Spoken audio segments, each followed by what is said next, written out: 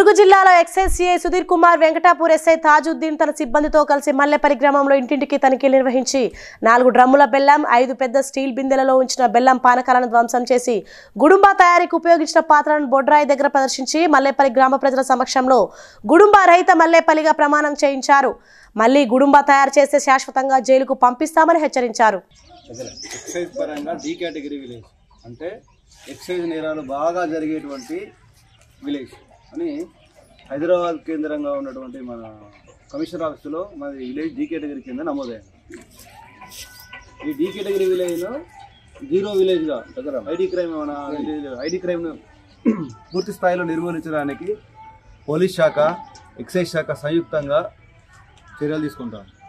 ఆ క్రమంలోనే గతంలోనే చాలాసార్లు కూడా మీ ఊరికి వచ్చాము చాలాసార్లు కూడా దాడులు చేసాము పట్టుకున్నాము కేసు నమోదు చేసాము అయినా కూడా మీరేం మారట్లేదు.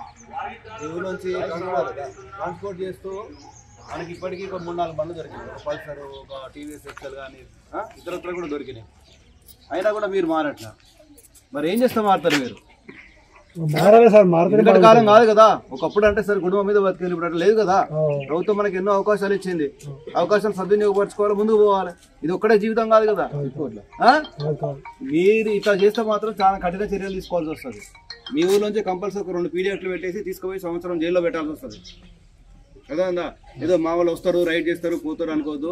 ఇప్పుడు మీ మీ దగ్గర ఇద్దరు ముగ్గురు బ్రీచ్ అయ్యారు అంటే సంవత్సరం జైలు పోతారు ఇప్పుడు. బయట ఓవర్ చేసి మళ్ళీ గుడుమ పెట్టి ఇప్పుడు మనకి ఇద్దరు దొరికారు వాళ్ళిద్దరిని కూడా జైలుకు పంపుతాం. One year one year. మిగతా పీరియడ్ అంతా ఏదైతే బయట ఓవర్ పీరియడ్ ఉందో ఆ పీరియడ్ అంతా కూడా జైలు పోవాల్సి వస్తుంది వాళ్ళు. Please like and share, subscribe to BCN Telugu News. Please like, share and subscribe to BCN Telugu